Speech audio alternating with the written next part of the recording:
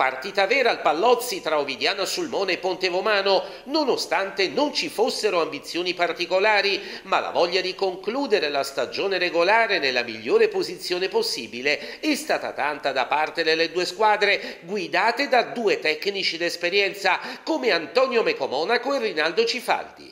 Il match riserva subito le emozioni, al quarto Touré scalda i guantoni di Fanti che, con uno splendido colpo di reni e con l'ausilio della traversa, manda in angolo. A seguire ingenuità di D'Alessandro che atterra di Stefano in area di rigore e il direttore di gara non esita ad assegnare il penalty. Sul dischetto si presenta Ferri ma Fanti si distende alla sua sinistra e neutralizza la minaccia. Su ribaltamento di fronte l'Ovidiana Sulmona si porta in vantaggio con un'azione firmata Blanco. Facundo verticalizza per Martin che controlla, entra in aria e manda il pallone all'angolino trafiggendo Modesti. Il ritmo poi cala e nel finale si rivede il Sulmona. Linares con uno splendido filtrante innesca Facundo Blanco ma tu per tu con Modesti si lascia ipotizzare dall'estremo difensore ospite.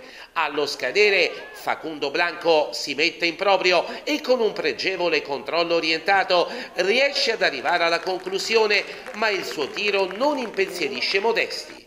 Ad inizio ripresa prova a smuovere la situazione Cifaldi inserendo Di Francesco al posto di Porrini. Dopo 5 minuti Blanco domina spalle alla porta e serve un cioccolatino per Giallonardo che da ottima posizione pecca di freddezza e manda al lato di un soffio. Al diciassettesimo proteste dei padroni di casa che recriminano un penalty dopo un contatto in aria ai danni di Martin Blanco il quale dopo essersi liberato del suo avversario con un sombrero non riesce riesce a calciare a rete a causa del colpo subito.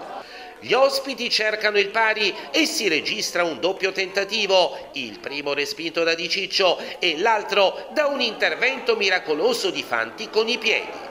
Nel recupero, flipper a pochi metri da Fanti con il pallone che alla fine, dopo il tiro di Faenza, schizza alto sopra la traversa e viene accompagnato da un sospiro di sollievo del Pallozzi che applaude i propri beniamini. L'Ovidiana Sulmona termina il campionato al quinto posto, peccato per la squadra di Mecomonaco che i playoff non si disputeranno.